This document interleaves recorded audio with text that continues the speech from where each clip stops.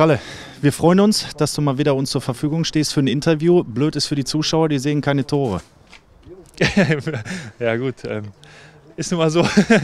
Wie sieht es denn auf dem Platz aus? Harte Arbeit, aber trotzdem gute Laune? Ja klar, also harte Arbeit in der Tat. Sehr, sehr viele intensive Läufe, auch im Kraftprogramm in den, im Gym. Ähm, von daher haben wir während den Einheiten nicht ganz so viel zu lachen, aber den Spaß und die Freude lassen wir uns trotzdem nicht nehmen. Ähm, es macht ja auch einfach Spaß, dann nach getaner Arbeit in der Kabine zu sitzen mit einem, mit einem guten Gewissen, dass man einfach wirklich hart gearbeitet hat. Und ja, aber nichtsdestotrotz freuen wir uns natürlich, wenn es dann endlich wieder losgeht und die Einheiten ein bisschen kürzer werden.